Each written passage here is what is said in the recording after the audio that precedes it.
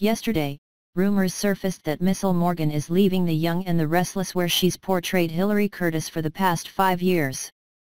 According to a Daytime Confidential report, Mishael Morgan is out at Y&R earlier Inquisitr reported that the shocking move comes as a result of failed contract negotiations. This stunning news could not come at a worse time for the Genoa City gossip queen because on screen, Hilary is pregnant with her first child. However, all that is in jeopardy now because Mishael Morgan will exit the show. So far, the first rumblings said she would leave in a car wreck, but there weren't any details about what could happen to the baby.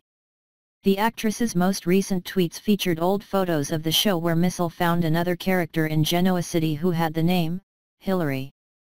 The timing on Mishael Morgan's departure is inopportune at best.